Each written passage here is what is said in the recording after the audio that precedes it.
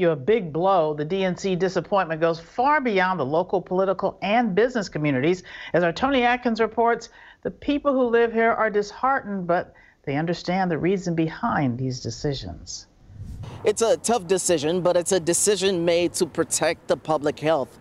Today, people I spoke with say they're disappointed, but they understand the reasoning behind the decision. It's really disappointing because this was this was going to be Milwaukee's year, and we were going to shine all the great things, you know, show the world all the great things that uh, Milwaukee has to offer. So it's unfortunate that you know, this happened to us this year. Deflating news for people who, at the very least, were looking forward to a visit from former Vice President Joe Biden. It is disappointing. It would have been nice if he could at least made the appearance. Democratic leaders say the decision was made after consulting public health officials.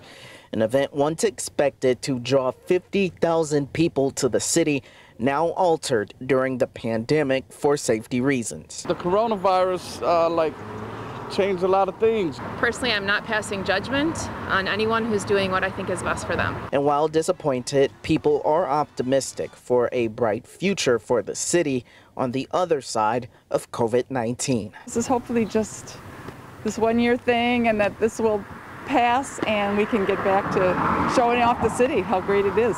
The DNC was expected to bring in $200 million to the Milwaukee area economy. Reporting in Milwaukee, Tony Atkins, TMJ4 News.